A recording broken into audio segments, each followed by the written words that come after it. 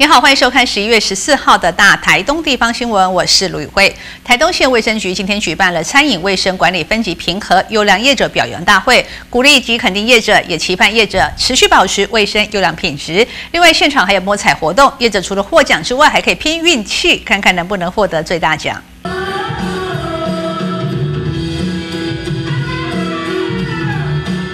由丁春花辣妈舞蹈团透过舞蹈表演，为通过评核的业者一同来加油。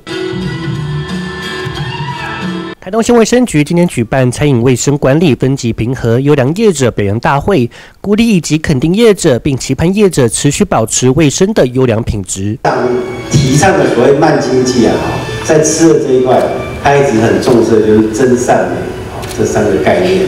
那其实透过这样子的卫生评比当中。我们希望让不管是在台东的县民，或者是来台东旅游的游客们，哦，所吃到的东西都是干净卫生。而这一次一共有六十家业者获得优级认证，并由副县长亲自颁发证书，也期盼业者持续保持卫生的优良品质，加强食品卫生的自主管理，保障消费者权益。台东的很多路上的这个商店，尤其是餐厅，哦，纷纷都开了新的店，而且很多老的店，它也重新去改装。那门面改善之后，最重要的是它里面的卫生跟品质部分。那我想这一块非常感谢大家的努力，一起来替台东的观光做打拼。那我相信由于各位的这样子的认真，我们的整个餐饮这一块，